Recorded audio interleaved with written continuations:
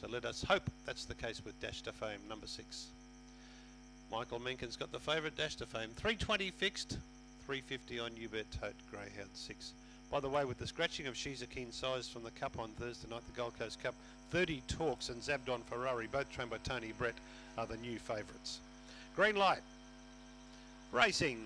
Sidbo out nicely near the inside, tackled by Got a Brother, and there goes Gunner Wink right through the pack, dash to fame, midfield and wide. Going out of the home straight, and Gunner Wink ducked away by a length or so on Sidbo.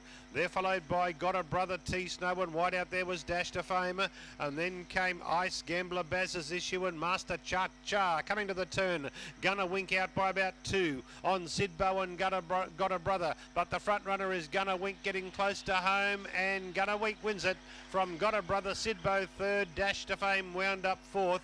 They're followed further astern then by Ice Gambler, Master Cha Cha, Baz's Issue, T Snow winner about 30 and 3. Well, if $23 in the first leg of the